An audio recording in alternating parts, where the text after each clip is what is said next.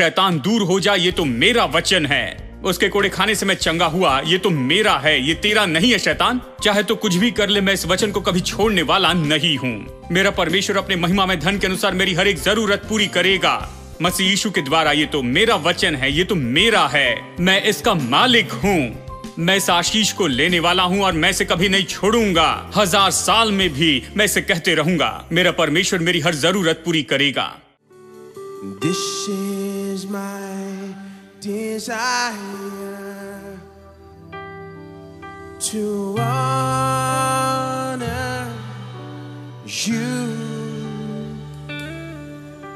Lord, with all my heart. I worship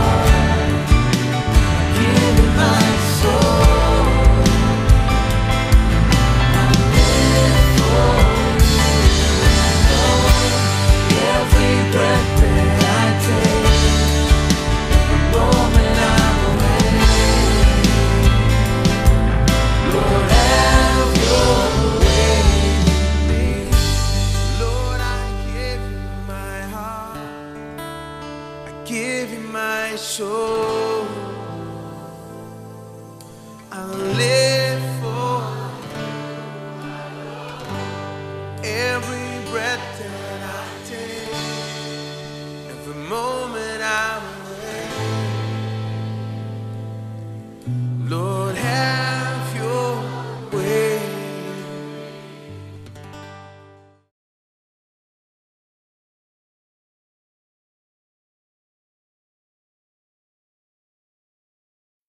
लू का अध्याय आठ को देखिए।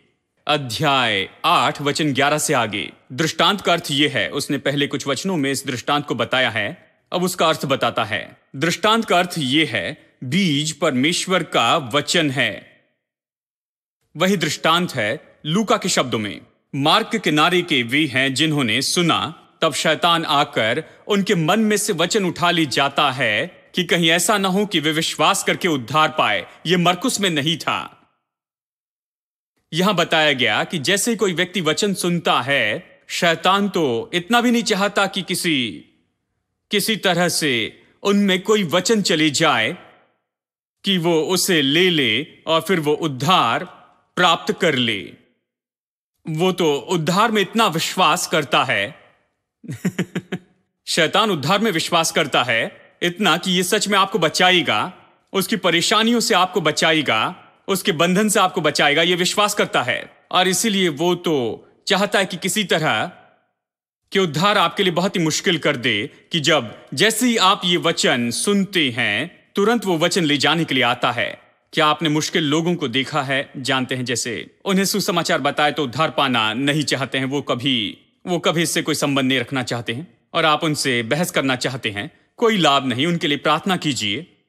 आपको तोड़ने होगी ये दुष्टात्मा के बंधन, ये झूठ जो बनाया गया है, इसे आपको तोड़ना होगा और और परमेश्वर को आपको ये सब कुछ देना होगा।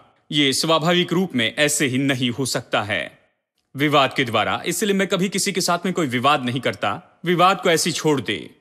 जानते हैं? विवाद नहीं चाहता। मैं बस वही बताना चाहता हूँ जो मैंने सुना, जो मैंने देखा और स्वाद लिया है और जानता हूँ। बस यही। विश्वास नहीं करते? ठीक है। मैं विश्वास करता हूँ। जानते हैं? यह सच्चाई है। बहस का उपयोग नहीं है।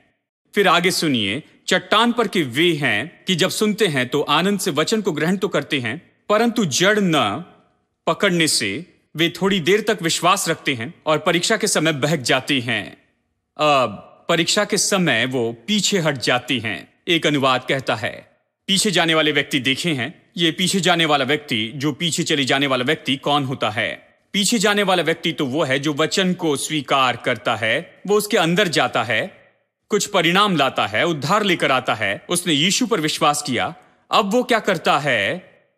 वो वापस जाता है, गिर जाता है, पीछे मुड़ता है। किस कारण वो पीछे मुड़ता है? थोड़ी सी परेशानी जो वहाँ पर आई थी। कोई सताव या फिर कोई परीक्षा थी? परीक्षा के समय, संकट के समय में वो पीछे मुड़ जाता है। सामान्य रूप में ऐसे होता है। देखिए, वो चर्च में जाता है। लगभग पिछले छह महीने से नियमित रूप में जाता है। पहले कभी नहीं गया था, अब चर्च जाता है और नौकरी चली जाती। तुरंत शैतान वहाँ पर आ जाता है, किसी और के आने के पहले। शैतान वहाँ पर है, क्योंकि वो खुश है कि इसकी नौकरी चली गई है। नौकरी चली जाना तो संसार में हमेशा होता है। शैतान तुरंत आकर कहता है, देखो तुम्हारे साथ क्या हुआ? तुमने यीशु पर विश्वास किया और तुम्हारी नौकरी चली गई। लेकिन यदि शैतान की न सुनकर वचन पर खड़े रहे और अगले रविवार को चर्च में आए तो आप मुझे कहते हुए सुनेंगे कि परमेश्वर आपको बेहतर नौकरी देगा। वो ये आपको कभी नहीं कहेगा। शैतान आपको यह कभी नहीं बताएगा कि आपको अच्छी नौकरी मिलेगी, क्योंकि आप मुझसे केवल यहाँ पर यही सुनेंगे। या मैं आपसे कहूँगा, खैर, यहाँ पर ऐसे कुछ लोग हैं जिनकी नौकरी चलेगी और कुछ समय तक कुछ भी नहीं किया, लगभग वो कुछ नहीं कर रहे थे, लेकिन बाद में व्यापार शुरू किया और अभी करोड़ों का व्यापार हो गया है। सैकड़ों लोग उनके लिए काम कर रहे हैं। ये दूसरे को नौकरी देते हैं। कितना अच्छा होगा कि आपकी नौकरी चली जाए और आप दूसरे सैकड़ों लोगों को नौकरी देने वाले हो जाए। प्रभु जीवन में बहुत से महान काम करेगा। और इसे केवल आप चर्च में सुनेंगे, इसे बाहर कहीं नहीं सुनेंगे। आप शैतान से ये बात नहीं सुनेंगे। शैतान तो बस यही कहेगा, तुम उस चर्च में गए थे सैम चलोदराई से तुमने वो संदेश सुना। अब देखो, क्या हो गया तुम्हारे पास, जो था उसे भी तुमने खो दिया है। देखो। कुछ लोग मेरी ओर देखकर कह रहे हैं, इन्हें कैसे पता कि शैतान ने मुझसे क्या कहा? ये यहाँ पर है। ये यहाँ पर मुझे बताता है कि शैतान क्या कहता है। मैंने इसे यहाँ पर पढ़ा है। यानी देखिए, कुछ लोग तो कुछ लोग ऐसे सोचते हैं कि मैं किसी का मन पढ़ने वाला व्यक्ति हूँ। कुछ लोग सभा के बाद आकर कहते, आपने बिल्कुल मेरे बारे में कहा। मैं कह तो मैं आपको जानता भी नहीं तो फिर मैं कैसे कह सकता हूँ? यदि मैं आपको जानता हूँ, आपकी समस्या जानता हूँ तो मैं बहुत ही सटीक होता हूँ कि उसके बारे में बिल्कुल बात न करूँ, क्योंकि क्यों ऐसी बात करें?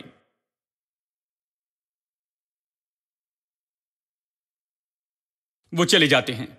क्योंकि शैतान वहाँ पर हमेशा होता है कि आपको झूठ बताते चले जाए। वो हर एक मौके में वहाँ पर झूठ को फैलाता है।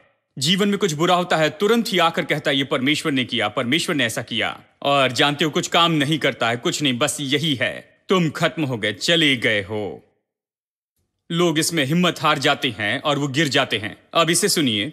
और जो झाड़ियों में गिरा, ये तीसरे तरह के हैं। और जो जो झाड़ियों में गिरा, ये वे हैं जो सुनते हैं, जो सुनते हैं, जो आगे चलकर चिंता और धन और जीवन के सुख विलास में फंस जाते हैं और उनका फल नहीं पकता है, इसका मतलब ये है, ये शुरू होता है, लेकिन सिद्धता की ओर नहीं पहुँचता। इसका मतलब इनका पूरा परिणाम नहीं मिलता, क्योंकि उनका ध्यान जो है भटक जाता है या वो आकर्षित हो जाते हैं चिंता से, यानी परवाह और धन, यानी धन का धोखा जो कि मरकुस कहता है, और इस जीवन के सुख विलास के कारण। हाँ, किसी बात के बारे में आप परवाह करते हैं तो यह गलत नहीं है, लेकिन चिंता करना गलत है, ठीक है? और ये धन रखना गलत नहीं है। अगर धन रखना गलत है तो परमेश्वर गलत है। वो बहुत धनी है। उसके कंपाउंड वाल ऐसे हैं, जो हर तरह के बहुमूल्य पत्थर से बनी हैं और उसके घर में सोने की सड़कें हैं, उसके शहर में। और मोतियों के फाटक और ये सब, वो बहुत ही धनी और अमीर है। बिल गेट्स भी अपना मुँह खुला रखेगा। जब वो परमेश्वर के धन को देखेगा, प्रभु धनी है। बहुत से मसीह लोग सोचेंगे, परमेश्वर बड़ा पापी है, जानते हैं? वो कैसे धनी हो सकता है? देखिए, बात तो यह है, धन होना गलत नहीं है, लेकिन धन का धोखा होना गलत है। और तीसरा कहता है, जीवन का सुख विलास अब इसके बारे में बता दूँ। आप सोच रहे हैं सुख विलास के बारे में अभी क्या बता रहे हैं? मैं आपको बताऊँ सुख विलास देखिए, जो नैतिक सुख विलास है, वो गलत नहीं है। लेकिन ऐसे भी सुख विलास हैं, जो कई बार, चाहे वो नैतिक ही क्यों ना हो, वो आपको गलत मार्ग में ले जाते हैं। मैं बताता हूँ क्यों। देखिए मुझे आनंद होता है जब वर्ल्ड कप चलता है, मैं वहाँ पर बैठकर टेलीविज़न देखता हूँ और कुछ भी नहीं करता हूँ। क्या आपको आनंद नहीं आता है? आप बहुत ही आत्मिक लोग दिखाई दे रहे हैं। मुझे कई बार बहुत शर्म आती है कि मैं अपने आप के बारे में इस तरह से कहता हूँ। और ऐसे ऐसे दिखता है कि मैं पापी हूँ और आप, यानी बड़े संत हैं। क्या आपको आनंद आता है या नहीं? कमान आनंद आता है तो बताइए, क्या यह पाप है? नहीं, टेलीविज़न पर हम कुछ शो देखते हैं, जो हमें आनंद देते हैं। उसमें कुछ गलत नहीं होता है, कुछ भी बुरा नहीं दिखाया जाता, अश्लील नहीं होता, और वो हमें कुछ आनंद देता है। क्या ये गलत है? नहीं। देखिए, आनंद, ऐसे बहुत से आनंद है जो आप पाते हैं, मनोरंजन के द्वारा, वो गलत नहीं है। लेकिन ये अच्छा ध्यान भटकाने वाला हो सकता है जब आप उसमें इतना जुड़ जाते हैं और आप खुद को उसमें दे देते हैं। और ये मेरे लिए ठीक है कि साल में कभी एक आध बार बैठकर देखे। जानते हैं, क्रिकेट का मज़ा ले, एक साथ मिलकर लें। लेकिन अगर मैं प्रतिदिन केवल क्रिकेट चैनल देखते जाऊँ, सुबह से शाम तक और बस कोल्ड ड्रिंक पीते जाऊँ और चिप्स खाते रहूँ, जानते हैं, कई घंटों तक ऐसे ही करूँ तो यानी जानते हैं मेरे जीवन में सबसे ज़्यादा काम बस यही तो होता है। तब ये गलत होता है, क्योंकि मैं बस देख रहा हूँ और ये लोग अच्छे से कमा रहे हैं, अपना चेक मिलता है दस लाख, बीस लाख का, और मैं ताली बजाता हूँ, लेकिन मेरे हाथों में कुछ नहीं आता है। मैंने बहुत समय पहले यह पाया कि अगर मैं ज़्यादा समय तक बैठकर इस तरह से टीवी देखते जाऊँ तो मेरे हाथों में कुछ भी आने वाला नहीं है तो मैं इसे देख सकता हूँ, आनंदित हो सकता हूँ, इसकी एक सीमा है। लेकिन फिर मुझे उसके पास में जाना होगा जो कि बहुत ही बेहतर है, जिसमें मुझे नंबर एक आनंद मिले। वो तो परमेश्वर की चीज़ें हैं, परमेश्वर का वचन है और परमेश्वर की बातों को सुनना है, क्योंकि वही तो मुझे भोजन देगा। वो मेरी हर एक ज़रूरत पूरी करेगा। हेलो, क्या आप यहाँ हैं? ये मेरे हाथों में कुछ न कुछ रखेगा। नहीं तो फिर बस मैं वहाँ पर बैठकर ताली बजाऊँगा। कुछ नहीं मिलेगा। जो भी आता और जाता है, उन सभी के लिए मुझे ताली बजानी होगी। लेकिन जब मैं इससे लेता हूँ, इससे अपने हाथों में उठाता हूँ और मैं इस पर गौर करते जाता हूँ तो मैं अपने आप के लिए एक भविष्य बनाते जा रहा हूँ। तो मैं बना रहा हूँ एक बहुत ही तेजो में अद्भुत और बहुत ही सफल भविष्य बनाता हूँ खुद के लिए। यदि आप बनाते हैं इसे अपना नंबर वन आनंद की बात। आमेन। देखिए, यही तो बात है, हमें बहुत ही सही तरह से कहना है। देखिए, इस तरह से कहते हैं। वो कहते थे, वो उन दिनों में कहते, उन दिनों में कहते थे, टीवी मत देखना, नहीं तो नर्क में जाओगे। मुझे याद है एक भाई वहाँ पर वॉशिंगटन डीसी में। जानते उन्होंने खिड़की खोली, मैं उनके साथ में रहता था। उन्होंने अपनी खिड़की खोली और टीवी फेंक दी। मैंने कहा, आपको क्या हो गया? वहाँ पर नीचे, यानी वहाँ पर बड़ा कचरा, वहाँ पर उस फ्लैट के नीचे में बहुत जमा हो गया था। उसने सीधा खिड़की से उसे फेंक दिया। उसने नीचे आकर उसे फेंकने की कोशिश नहीं की। मैंने कहा, क्या हुआ? क्यों फेंक दिया? उन्होंने कहा, कल का प्रचार इतना अच्छा था। उन्होंने कहा कि, अगर मैं टीवी देखूँगा तो नरक में जाऊँगा। तो मैंने निर्णय लिया कि मैं इसे लूँगा और फेंक दूँगा। मैंने कहा, मुझे दे देना था।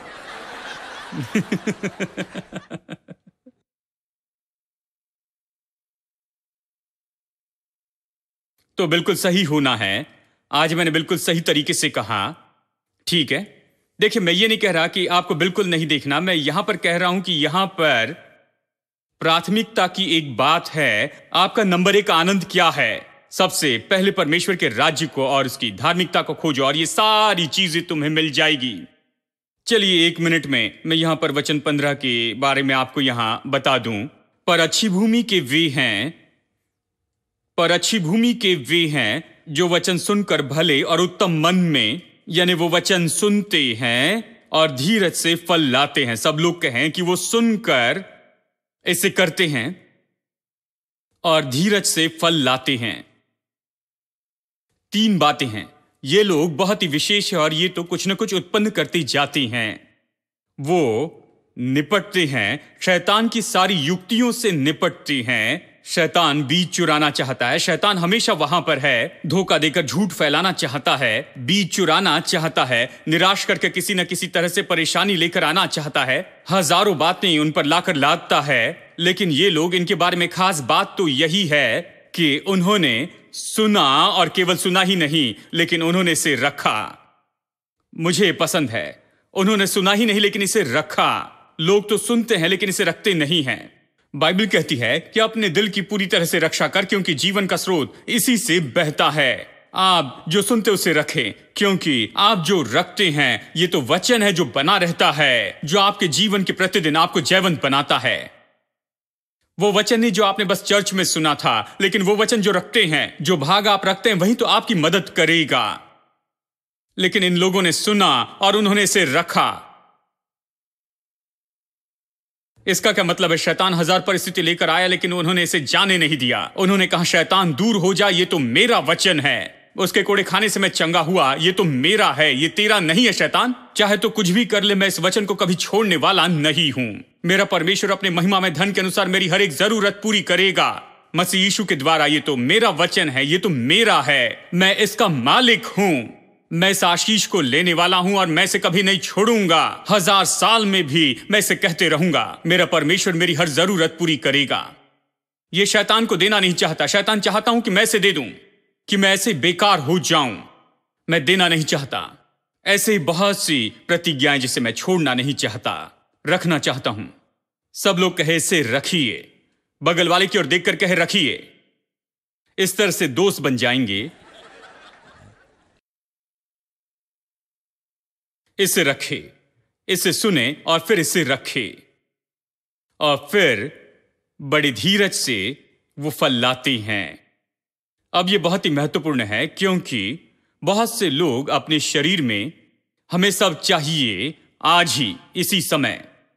चाहे कितना भी ब्याज चुकाना पड़े। उसे बाद में सोचेंगे, इसे खरीद लो, इसे खरीदो, मुझे ये सब कुछ अभी चाहिए।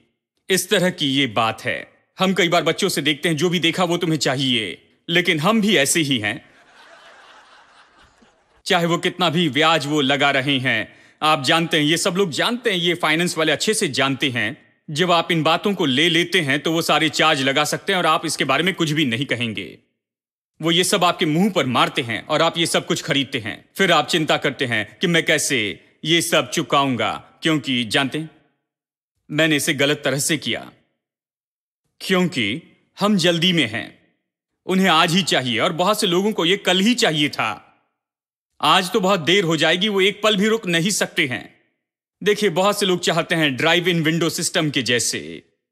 जैसे कि बहुत से देशों में जो खाने की जगह होती हैं, फास्ट फ़ूड सब ड्राइव इन के जैसे हैं। आप उस स्पीकर के पास में जाइए, अपनी कार लगाइए, कार का शीशा नीचे कीजिए और फिर बस उसमें चिल्लाए, एक हैमबर्गर। और एक कोल्ड ड्रिंक और एक फ्रेंच फ्राई दीजिए। और फिर वो कहते, चार डॉलर पचानवे सेंट हुए हैं। और फिर आप आगे बढ़ते हैं। बस एक और अगली खिड़की पर जाते। एक आदमी अपना हाथ बढ़ाता है हैमबर्गर और कोल्ड ड्रिंक के साथ, और फ्रेंच फ्राई है और दूसरा हाथ पैसे लेने के लिए बढ़ाता। ये सब कुछ इतने जल्दी से होता है। तो वो परमेश्वर के साथ ऐसा ही चाहते हैं। परमेश्वर के पास आकर वो कहते हैं, परमेश्वर, आज एक लाख दे। इसी समय फिर वो अगली खिड़की के पास आना चाहते और चाहते हैं कि परमेश्वर एक लाख उन पर उंडेल दे। बुम! उस खिड़की में से दे दे। लेकिन ये ऐसे काम नहीं करता। विश्वास ऐसे काम नहीं करता। विश्वास काम करता इस बीज के सिस्टम से, जहाँ पर आप वचन बोते हैं और ये वचन आप में बढ़ने लगता है और उत्पन्न करता है। और अगर आप इसे समय देना नहीं चाहते हैं और इसकी रक्षा करके रखना नहीं चाहते हैं और ये सब नहीं करते तो बताऊँ कुछ भी नहीं मिलेगा। देखिए, हम किसी तरह का जादू नहीं सिखा रहे हैं। हम वो सिद्धांत सिखा रहे हैं जो काम करता है। अगर आपको उज्जवल भविष्य और अच्छा जीवन चाहिए तो आपको वचन लेकर उसे बोते चले जाना है। उसे काफ़ी समय दे और उसकी रक्षा करते रहें और उसे रखे, अपने मुँह में रखे, अपने दिल में रखते जाए, आँखों के सामने रखे, उसे कभी ओट ना होने दे। और उसे रखे, और उसके साथ में आप धीरज भी रखे, ताकि अगर ये आज ना आए अगर ये इस महीने ना मिले, अगर छह महीने बाद भी ना मिले, लेकिन बाद में ज़रूर मिलेगा। मैंने एक भाई को सेवकाई के लिए भेजा और फिर जानते हैं और उन्होंने कहा, खैर पास्टर, मैं वहाँ पर जाकर छह महीने कोशिश करता हूँ कि क्या ये काम करेगा? नहीं तो मैं अपनी दादी के घर चला जाऊँगा। मैंने कहा, तुम सीधा अपनी दादी के घर चले जाओ। हमें आप नहीं चाहिए। हमें वो नहीं चाहिए जो छह महीने कोशिश करे। वो परमेश्वर को छह महीने देता है। कोशिश करता हूँ। मैंने कहा, मैं इस तरह से इसमें से आया। मैंने अपना जीवन परमेश्वर को दिया। छह महीने या छह साल या फिर चाहे साठ साल हो जाए, मैं तब तक खेलूँगा जब तक जीत न जाऊँ। परमेश्वर मेरे साथ में है। उसने मुझे बुलाया है और परमेश्वर इसे मेरे लिए अच्छा बनाएगा। आमेन। पीछे हटना नहीं।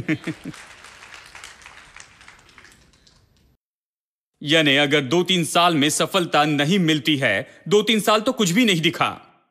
जानते हैं दो तीन साल ऐसे ही प्रचार किया और कोई परिणाम नहीं देखे। सब मेरी और बस ऐसे ही देखते थे। ये कौन प्रचार कर रहा है? ये कुछ अलग ही है। मुझे पता नहीं क्या ये जानते हैं कि ये क्या प्रचार कर रहे हैं और ये जो प्रचार कर रहे हैं, क्या ये सच है?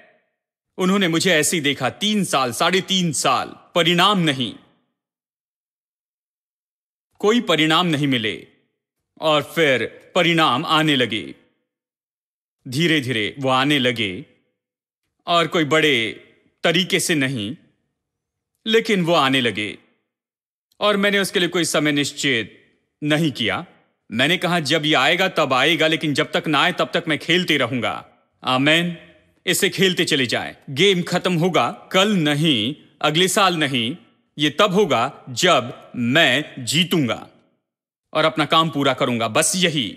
ये तब तक पूरा नहीं होगा, ठीक है? आप में यही मनोदशा होनी चाहिए। आप जीत सकते हैं।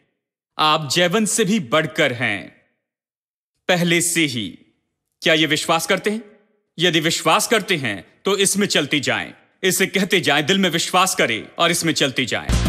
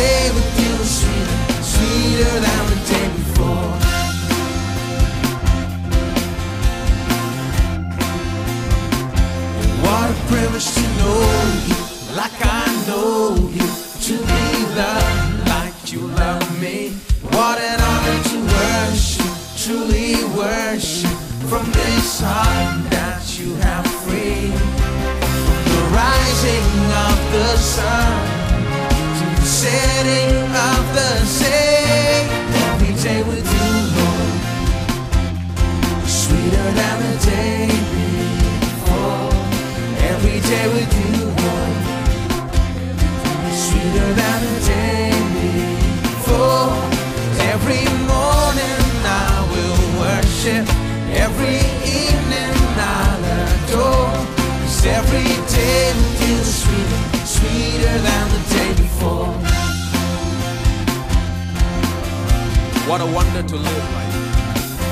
What a wonder to live like, really live like, overcoming anything. What a reason